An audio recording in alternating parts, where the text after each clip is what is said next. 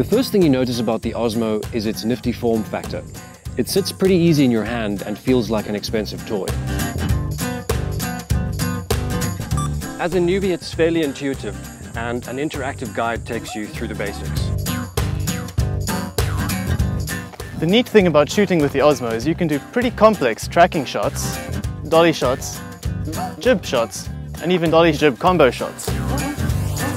But sometimes you still just need a drone.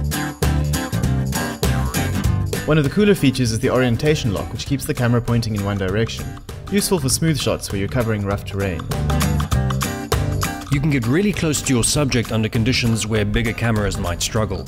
Also, your phone connects over Wi-Fi, so even in awkward positions, you can see what you're shooting. The Osmo is designed so you can run with it. Even at speed and a whole lot of shake, it stays ultra smooth. The one thing you're not going to get with the Osmo is nice depth of field. The sensor is small, the lens very wide, and with a minimum focal distance of about a meter, you're not going to do macro shots.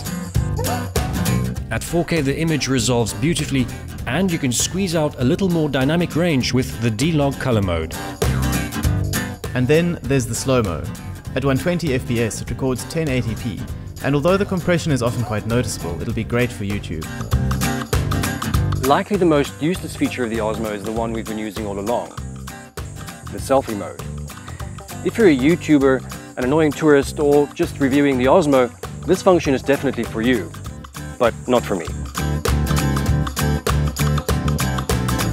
Once you get the hang of it, the Osmo does feel like you're wielding some kind of magic movie-making wand, and it'll probably become indispensable for events and documentaries. But will you want one for your indie film?